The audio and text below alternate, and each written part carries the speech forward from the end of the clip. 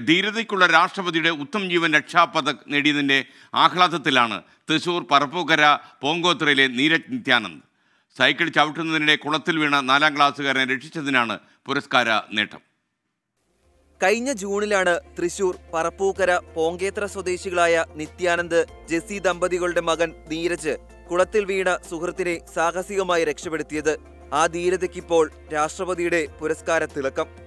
സ്ലോപ്പിൽ കൂടെ സ്പീഡിൽ വരുമായിരുന്നു എന്നിട്ട് ആദ്യത്തെ പ്രാവശ്യം വീണു. രണ്ടാമത്തെ പ്രാവശ്യം പിന്നെ അങ്ങനെ വന്ന് പിന്നെ കുറ നല്ല ആഴത്തിലോട്ട് പോയി. അപ്പോൾ അവൻ ഇങ്ങനെ രക്ഷിക്കട രക്ഷിക്കടാന്ന് പറഞ്ഞ് ഇങ്ങനെ കൈയടിച്ചു. എന്നിട്ട് ഞാൻ ഇവൻ പറഞ്ഞു എന്നിട്ട് ഞാൻ അങ്ങോട്ട് ചാടി കയ്യിൽ പിടിച്ച് നീന്തി വലിച്ചേറ്റി കരയ്ക്ക് കയറ്റി. പോങ്കേത്ര തെക്കുംപുറം ആൻഡ്രൂസിന്റെ മകൻ ഗോപാലകൃഷ്ണനാണ് സൈക്കിൾ ചവിട്ടുന്നതിനിടെ നാലാൾ താഴ്ചയുള്ള മാഞ്ഞാങ്കുളത്തിൽ വീണത്. കുളത്തിൽ മുങ്ങിത്താഴ്ന്ന ഗോപാലകൃഷ്ണന് മറുകരയിൽ സുഹൃത്തുക്കൾക്കൊപ്പം കളിക്കുകയായിരുന്ന നീരജ് രക്ഷകനായി എത്തി ഫസ്റ്റ് പിന്നെ കുറച്ച് സ്പീഡിൽ കൂടി ഇറക്കിയപ്പോൾ വീട് കയറിയിട്ട് നല്ല സ്പീഡിൽ വെള്ളത്തിൽ വീണു. കൈയിട്ടടിച്ചപ്പോൾ മറ്റേ രണ്ടുപേരും കണ്ടു. അപ്പോൾ നീരജിനോട് പറഞ്ഞു ഇറങ്ങി. കൈ പിടിച്ച് കരയിൽ കയറ്റി.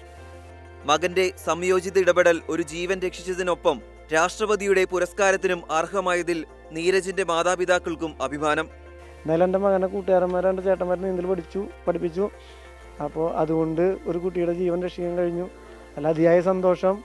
അലു അതിലുപരി രാഷ്ട്രപതിയുടെ അവാർഡ് കിട്ടിയപ്പോൾ വളരെ സന്തോഷം. നീരജടക്കം എട്ടുപേർക്കാണ് ഇത്തവണ രാഷ്ട്രപതിയുടെ ഉത്തം ജീവൻ രക്ഷാപതക് ട്വന്റി തൃശൂർ.